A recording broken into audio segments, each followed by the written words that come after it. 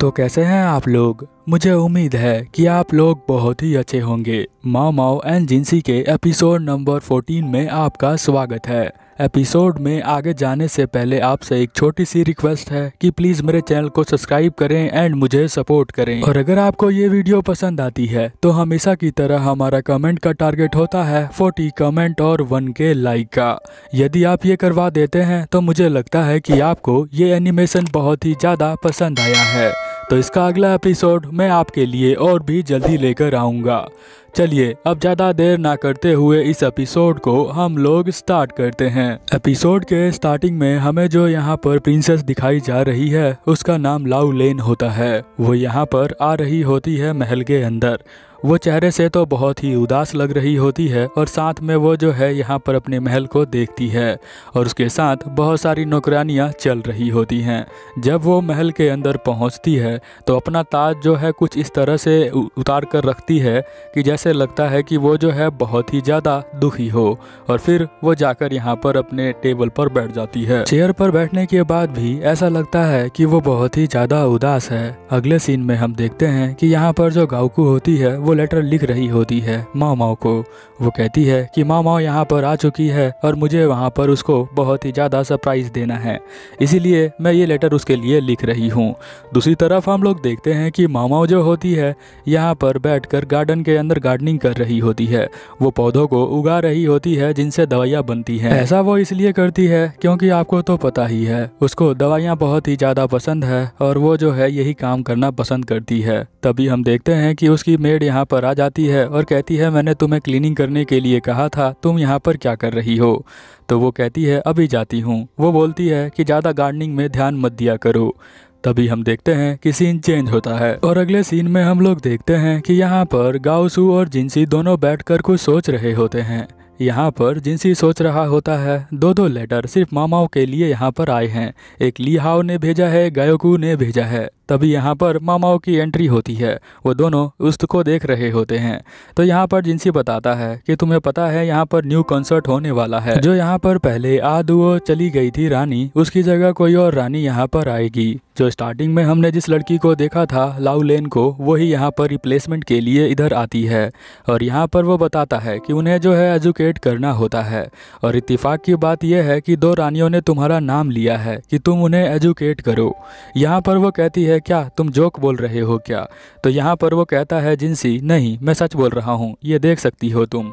यहाँ पर गायुकू का लेटर है और साथ में ली हाउ का भी लेटर आया हुआ है, तुम्हें बुलाने के लिए। फिर हम देखते हैं कि यहाँ पर मामा जो होती है, वो कहती है अच्छा तो ठीक है। फिर अगले सीन में हम देखते हैं कि वो स्टडी का सामान पैक कर लेती है और यहाँ से जाने के लिए तैयार हो जाती है। वो सोचती है कि अब दो दो रानियों ने रिक्वेस्ट करी है तो मुझे तो जाना ही पड़ेगा। यहाँ पर वो सोच रही होती है कि एक अच्छा पैसा मिल सकता है वहाँ पर जाने के लिए, और मैं अपना प्राइस कितना लिखूँ, मुझे समझ में नहीं आ रहा है। तभी हम देखते हैं यहाँ पर जिनसी आ जाता है और कहता है कि तुम पढ़ाने के लिए कौन सा मटेरियल लेकर जा रही हो? मामा कहती है, वो सीक्रेट है, मैं तुम्हें नहीं बता सकती हूँ। फिर हम देखते हैं कि उसकी सर्वेंट यहाँ पर आ जाती है, जो जिनसी की होती है। वो यहाँ पर साइन करवाना चाहती है मामाओ पेमेंट्स के लिए बट वो यहाँ पर आ जाती है उसकी सर्वेंट और वो उसे मना कर देती है। तो वहाँ पर वो सोचती है कि जब तक ये सर्वेंट इसके पास होगी, मेरे पैसे नहीं बढ़ सकते हैं। अब अगले सीन में हम लोग देखते हैं कि यहाँ पर जिनसी दोबारा से देखने की कोशिश करता है कि वो पढ़ाने के लिए कौन सा मटेरियल लेकर जा रही होती है। मामाओ उसके ऊपर गुस्सा हो जाती है। वो कहती है कि नहीं, तुम यहाँ पर देख नहीं सकते हो। जिनसी यहाँ पर कहता है कि ठीक है ठीक है, जैसा तुम कहो, मैं नहीं देखूँगा। यहाँ पर वो खुद से ही मटेरियल को ले जा रही होती है गाउसू कहता है, क्या मैं तुम्हारी हेल्प करूँ? मामा कहती है कि नहीं, मैं इसे खुद ही लेकर चली जाऊँगी। मामा की आँखों में जनून होता है, ये काम खुद करने का, इसलिए वो जो है यहाँ पर मटेरियल खुद ही लेकर आती है। हम देखते हैं कि यहाँ बहुत सारी लड़कियाँ इकट्ठा हो जाती हैं, क्योंकि जिनसी जो है दिखने में बहुत ही ज़्यादा सुंदर है, इसीलिए उसे देखने के लिए यहाँ पर इतनी लड़कियाँ आ जाती हैं।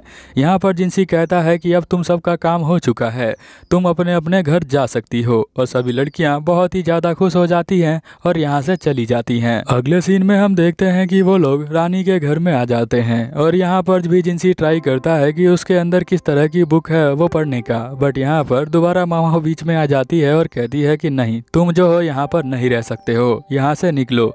यहाँ पर सिर्फ़ लड़कियाँ जो है वही रह सकती हैं और वो जो है यहाँ पर उसे धक्का मारकर बाहर निकाल देती है। गाउसू यहाँ पर बहुत ही ज़्यादा खुश होता है मामाओं को ऐसा करके देखकर। फिर हम देखते हैं कि गायकू जो होती है, यहाँ पर उसे देखती है मामा को और वो भी बहुत ही ज़्यादा खुश हो जाती है। यहाँ पर मामाओं देखकर कहती है कि पहले की तरह ही ये अभी भी खूबसूरत है। यहाँ पर लीसू को देखती है और वो कहती है कि ये अभी भी नर्वस है, क्योंकि इसकी सर्वेंट जब तक इसके पास रहेगी, ये नर्वस ही रहती है। फिर यहाँ पर वो देखती है लेडी लिहाऊ को, वो भी बहुत ही ज़्यादा अच्छी लग रही होती हैं। वो कहती है कि ये जो अब अपने रिकवर हो चुकी हैं और इनकी हेल्थ सही हो चुकी है। यहाँ पर वो देखती है कि लिहाऊ की मेड जो है बहुत ही ज़्यादा घबरा हो रही होती है मामाओं को देखकर। उसे समझ में नहीं आता कि वो क्यों घबरा रही है। फिर यहाँ पर वो देखती है लू लेन को, जो यहाँ पर नई रानी बनने वाली है, जो यहाँ पर आदुओं की जगह पर आई है। वो कहती है कि ये नोट से आई है, बट इसके चेहरे को देखकर मैं अभी कुछ बता नहीं सकती हूँ कि ये क्या सोच रही है। बट कोई नहीं, अगर ये आई है तो इसे जो है पॉजिटिव ही रहना चाहिए, नेगेटिव नहीं रहना चाहिए। और यहाँ पर वो अपना लेक्चर स्टार्ट करती है अपने नाम बताते हुए। वो कहती है कि मैंने आप सभी को मटेरियल दिया है, आप जो है अब हम यहाँ पढ़ना स्टार्ट कर सकते हैं। और सभी जो यहाँ पर होती हैं, पढ़ना स्टार्ट कर देती हैं। मामा इन सभी को पढ़ाने लग जाती है। किस चीज़ के बारे में पढ़ाती है, वो तो हमें भी नहीं पता है। यहाँ पर गाउकू बहुत ही ज़्यादा खुश होती है और यहाँ पर उसकी मेड पढ़ रही होती है लिहाओ की, वो बहुत ही ज़्यादा घबरा रही होती है। यहाँ पर लिसू जो होती है, वो उसको पढ़कर उसको चक्कर आ रहे होते हैं और यहाँ पर हम देखते हैं लाउ लेन जो होती है, उसकी मेड भी पढ़ रही होती है, बट वो घबरा रही होती है। बट ये क्या पढ़ा रही है, ये तो हमें पता नहीं चला है, बट इसे जानना चाहता है आप भी और यहाँ पर जो हमारा जिनसी है, वो भी जानना चाहता है कि ये क्या पढ़ा रही है। इस इसीलिए वो कान लगाकर सुनता है। तभी यहाँ मामा आ जाती है। वो कहती है कि तुम क्या सुन रहे हो? तो यहाँ पर जिनसी कहता है कि, मुझे लगता है कि तुमने कुछ ज़्यादा ही टाइम लिया, कुछ ज़्यादा ही अच्छे से तुम पढ़ा रही थी। तभी वो देखता है कि यहाँ पर अलग अलग रानियाँ अलग अलग तरह से बिहेव कर रही हैं। यहाँ गायकू है, जो बहुत ही ज़्यादा खुश है। और फिर हम देखते हैं कि वो कहता है कि, लगता है तुमने उन्हें पता नहीं क्या पढ़ा दिया है। फिर हम देखते हैं कि यहाँ दो रानियाँ बहुत ही ज़्यादा खुश होती हैं, गायकू और लियाहू। और बाकी की जो होती हैं, उन्हें टेंशन हो रहा होता है। हम देखते हैं, मामा यहाँ पर लाउलेन को देखती है। लाउलेन भी उसको देखती है और फिर अपना मुँह साइड में कर लेती है। यहाँ पर मामा कहती है कि मैं अभी भी इसके बारे में नहीं सोच पा रही हूँ तो इससे मैं बाद में बात करूँगी। यहाँ जिनसी दोबारा से पूछता है कि अरे तुमने किस तरह का लेक्चर इन्हें दिया है, ये बहुत ही अजीब बिहेव कर रहे हैं। तो यहाँ पर वो कहती है कि तुम्हें नहीं पता चलेगा और अभी मैं तुम्हें बताऊँगा बताऊँगी नहीं। तुम जाके बाद में पूछ सकते हो इन्हें पसंद आया या नहीं पसंद आया। अब रात को देखते हैं कि वो सोने की कोशिश कर रही होती है, तभी यहाँ पर एक धमाका होता है। धमाका को सुनकर यहाँ पर वो जग जाती है। सोचती है कि मैं जाकर देखती हूँ, बट वो सोचती है कि नहीं, मैं जाऊँगी तो मुझे कोई कुछ बोल देगा। हम जो है धमाके वाली जगह पर आ जाते हैं, जहाँ पर बहुत सारे सैनिक यहाँ देख रहे होते हैं कि कुछ नुकसान तो नहीं हुआ है, और एक बंदा यहाँ स्मोकिंग पाइप को देख रहा होता है। हम अगली सुबह देखते हैं कि यहाँ पर सोच रही होती है मामाओ कि वो किस तरह की आवाज़ थी जो पिछली रात को मेरे को सुनाई दी थी। यहाँ पर वो देखती है जिनसी एंड गाउकू को, दोनों जो है यहाँ पर बिल्स को देख रहे होते हैं। अलग अलग बिल को अप्रूव करना होता है यहाँ पर जिनसी को। वो कहती है कि यही बोरिंग वाला काम कर रहे हैं। फिर वो यहाँ से पेपर उठा लेती है। इन्हें जो है यहाँ पर डस्टबिन में डालना होता है या फिर इन्हें जलाना होता है। जलाने के लिए मिलिट्री ऑफ़िस के पास जाना पड़ता है। फिर हम देखते हैं कि गाउस उसके पीछे आता है और वो उसे जैकेट दे देता है। तो वो, मामाओ, यहाँ पर थैंक यू कहने लग जाती है गाउकू को। तभी गाउकू को याद आता है कि अरे, जिनसी बुरा मान जाएगा। तभी वो कहता है कि अरे अरे, ये तो जिनसी सर ने दिया है, मैं आपको सिर्फ़ देने के लिए आया था। तो यहाँ पर वो सोचती है, मामाओ, किस तरह का बंदा है, जैकेट देने के लिए भी सर्वेंट का यूज़ करता है। अब जो मामा होती है, यहाँ पर जिनसी को भी थैंक यू कह देती है। फिर हम देखते हैं अगले सीन में कि वो पेपर जलाने के लिए यहाँ मिलिट्री के हाउस पर आई होती है। वो कहती है कि अक्सर मिलिट्री का जो जगह है, वो बहुत ही बड़ा है। और यहाँ पर वो सोचती है कि मैं जो हूँ, यहाँ पर भी बीज लगा देती हूँ। यहाँ पर बहुत ही अच्छे अच्छे मेडिसिन जो होंगे ग्रो होंगे। फिर हम देखते हैं कि कि वो यहाँ पर चारों तरफ़ घूम कर देखती है और देखती है कि कौन सी सबसे अच्छी जगह है जहाँ पर ये लगाया जाए। ठंड में अच्छी तरह से ग्रो होंगे, मुझे लगता है ऐसा। फिर मामा जो होती है, वो फिर से जड़ी बूटियों को देखने लग जाती है और यहाँ पर उन सभी को ढूँढने लग जाती है। उन्हें देखकर इन्हें बहुत ही ज़्यादा अच्छा लगता है। फिर हम देखते हैं, उसका जो ध्यान होता है, वो एक और जड़ी बूटी पर जाता है। वो कहती है कि यहाँ पर जो है, इसे खाकर पॉइजन हटा सकते हैं। तभी वो देखती है कि ली हाकू जो होता है, यहीं पर बात कर रहा होता है।